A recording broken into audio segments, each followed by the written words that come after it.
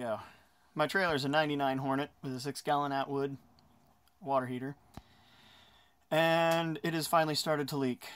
The little cheap plastic plug is leaking, and my relief valve is leaking. So my answer was, I'm going to replace both of them and upgrade at the same time. So, being that I live out in the boonies, I'm getting pretty sick and tired of these picky people coming up with excuses to fill my propane tanks. And I don't like having to trade them out at Walmart every single time I need propane, because that requires a drive. So, they've been coming up with excuses. Oh, it's too cloudy out. Oh, there's static in the air. Blah, blah, blah, blah. So this way, I can use my propane for just my oven, and I can use the electric for my water heater. Because I'm only one person. I only do dishes, and I only shower with hot water. Mm, that's it. So, not using propane for all that will be excellent. So it's nighttime. I don't care. I got off of work. I'm going to install this thing today. Right now I've got a load of wash running. That way I can use up my hot water. And then I will turn all the water off and continue this process. So now I'm going to open up the box and see what we got. Very simple looking. I've already read the PDF online, so I knew what I was getting myself into. This isn't going to be bad at all. Got our heating element. This is for the six gallon tank, by the way. Got all the color-coded wires and color-coded connectors. Got more color-coded wires. And then one heck of a stout plug. Got the thermostat, which is going to be 3M adhesive taped to the side of the thermos or tank, my bad thermostat cover so you don't get stupid and touch things you were not supposed to, and the 3M tape. And then all your different adapters and reducers for the specific tank that you have, along with some Teflon tape. Oh, and then, oh, that's cool. They gave us a grommet too. I was expecting to drill into the housing and have to use adhesive or something like that to seal it up. But they give us a grommet. That's kind of nifty. I don't plan to use the grommet though because although the instructions say I think the instructions said it. I, I read through it before. Da, da, da,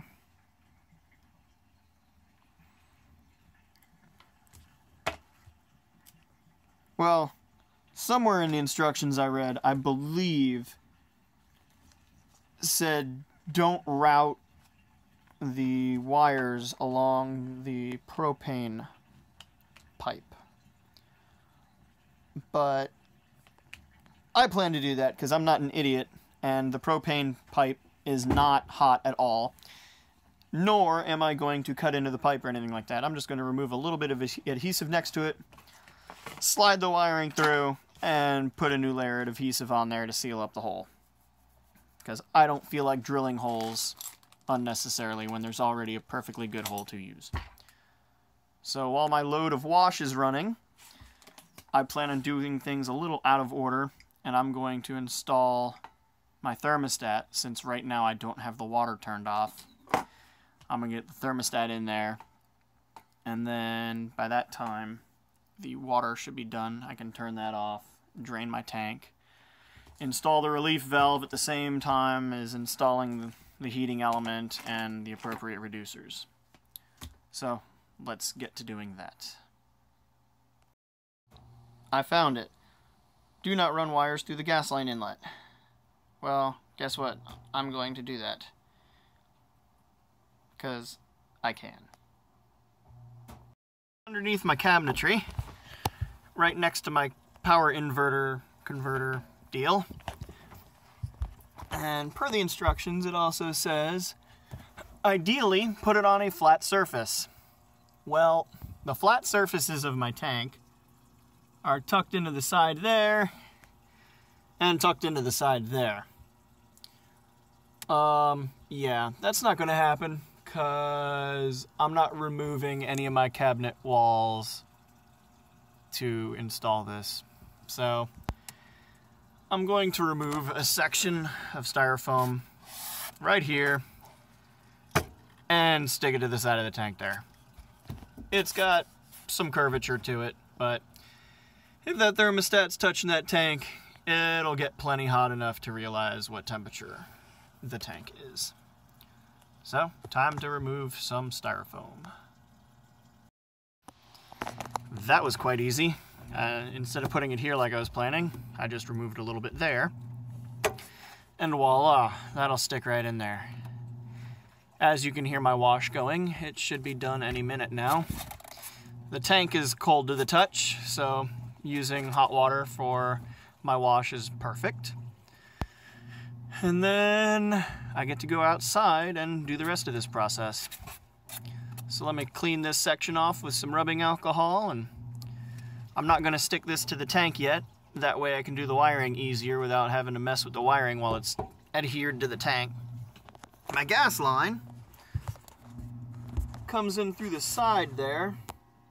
So hopefully I'll be able to reach the wiring back there and I'll snake it through. Alright, on to the next process.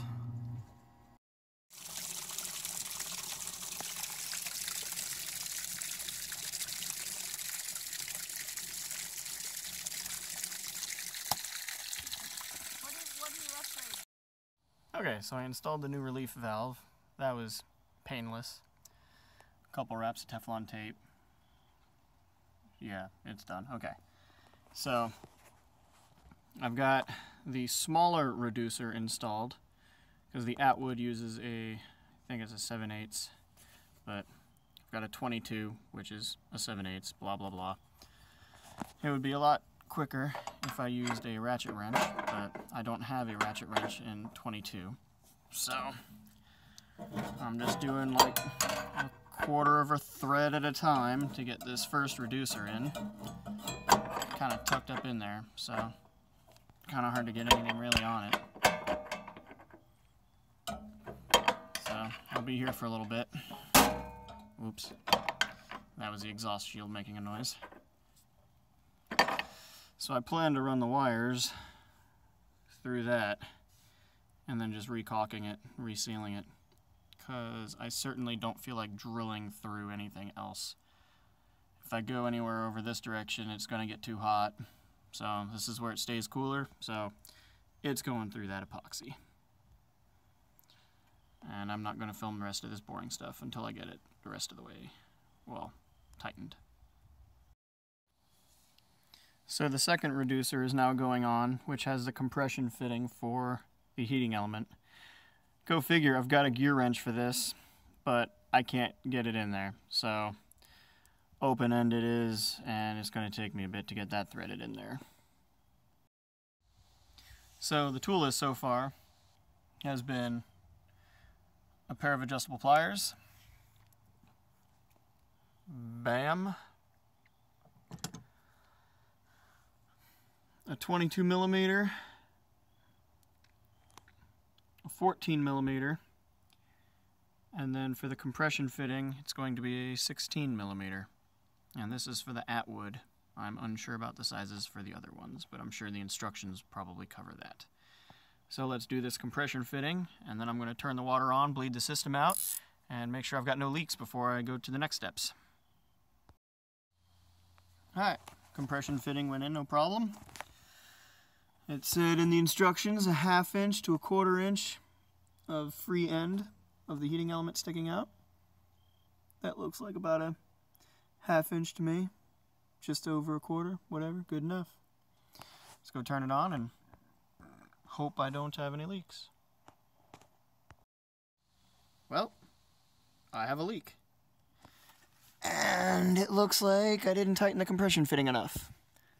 So, I'll crank that down some more. Alright, so that's been done. The wiring is now ran through that gasket, which I will be re-epoxying here shortly because that was some gnarly epoxy. I gotta find out what that stuff was. Looks like it was a water leak at one point maybe because it's epoxy over one of the bushings. So good stuff. And good timing too because it's starting to rain. So good thing I'm done outside for now. So I can Close that up, and to the inside wiring I go. So, it looks like a wiring disaster right now because I haven't tidied anything up. But, thermostat's installed, all the wiring is right, and it's turned on right now, so nothing exploded. That's a good thing. Um,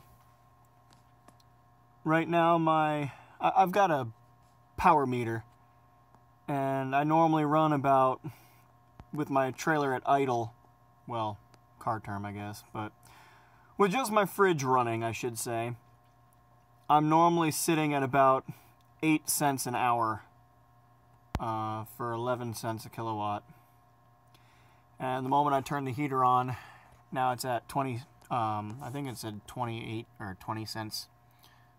So basically a quarter an hour sounds like to run the electric heater. So it's better than propane. Easily better than propane.